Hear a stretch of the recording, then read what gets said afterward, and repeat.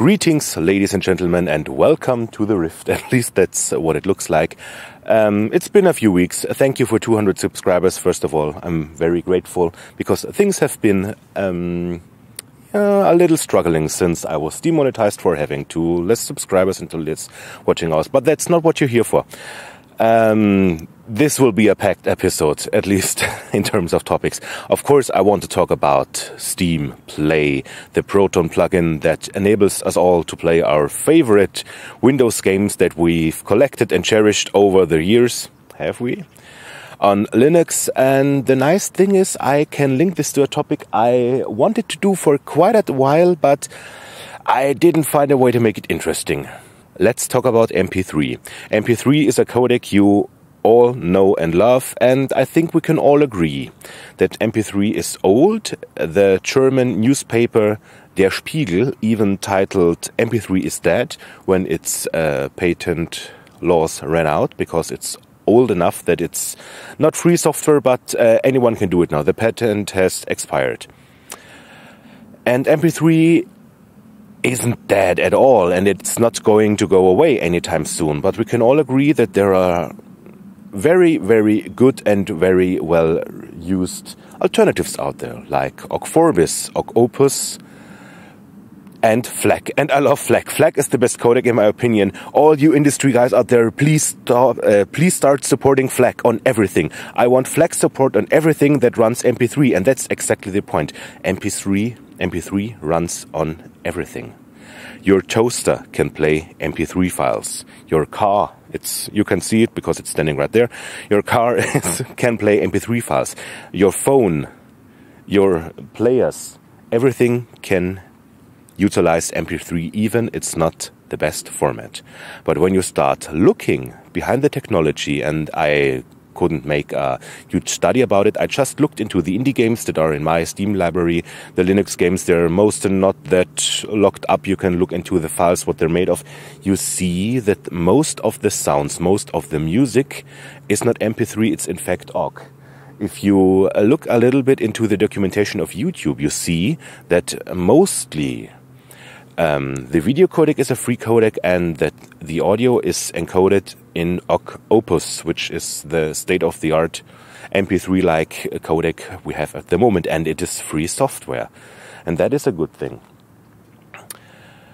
Um, besides that, my car over there, and my toaster, and my refrigerator, and not even all my players can play Vorbis or Ogg Opus. My phone can, because it runs VLC, and VLC runs everything. And that's interesting. The interesting fact is that the the magic behind the bars that you're not going to see necessarily is already a step ahead, and that's quite similar to how we use our computers nowadays. Because um, if you ask anyone on the street, everybody and their grandmother will tell you, "Of course, my computer runs Windows." If you're not going to find a random Mac guy strolling along the road, uh, strolling along the street. Um, but we all know that the back end of the world runs Linux. Most servers on the internet, the sites we enjoy, use either Linux or BSD. And now there is Steam Play, Proton. Um, I think it's fine. I think it's great other people that have more reach and more important things to say than me already tried it out immensely and I can confirm it works better than it should. It really works really good and it's quite convenient. But is it enough to lead to a big adoption, a big conversion from Redmond OSs to Linux? That's quite interesting. MP3 is 20 years old. Utilizing something like an audio file is quite simple. You put your little device, whatever it is, you put a few encoders in it, and then it should work. If uh, you're using legacy hardware, and that's mostly the case on most MP3 player, who builds MP3 players these days? You go to Rockbox and you hack it, and then it plays everything computers are quite a different beast. Look into the machines you use um, at your workplace, and you will see often it's a mess. Um, at the moment, I, I, can say at my workplace we're uh, utilizing Windows 10 uh, computers, and the software is all over the place. Most of the applications we use um, are browser-based applications, so that would be easy to transfer. And it's 32-bit, 64-bit, um, Microsoft here, open source there, and that's not because administrators are stupid, but um, because uh, those decisions are usually made by uh, people who who don't sit on the right chairs.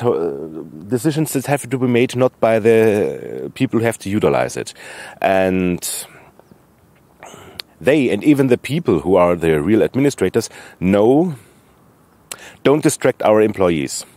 In my case, I don't work at an IT firm. I work at a hospital, and there must not be any downtime. I think I don't have to explain you why.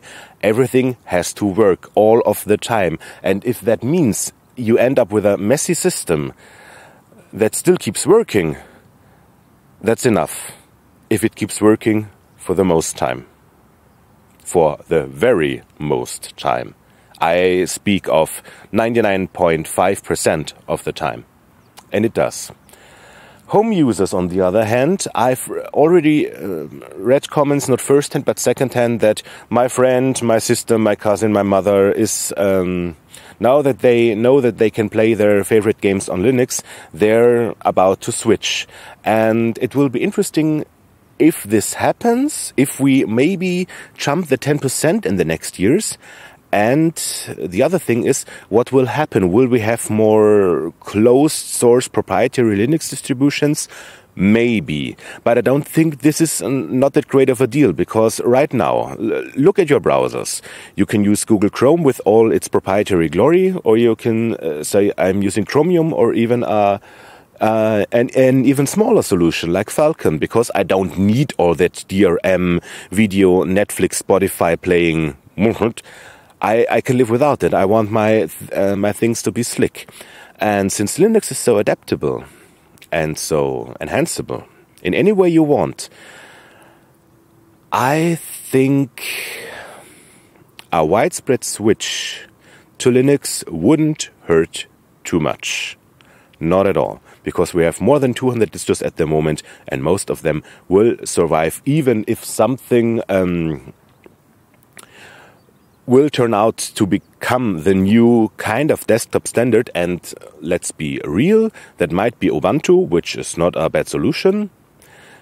There are still 199 other solutions you can pick. And that's something I can look forward to. Meanwhile, it really looks like the Rift. I hope you, it's uh, not really. You can't even see the little village that's down there. I will now go back playing Skyrim on Linux. Auf Wiedersehen.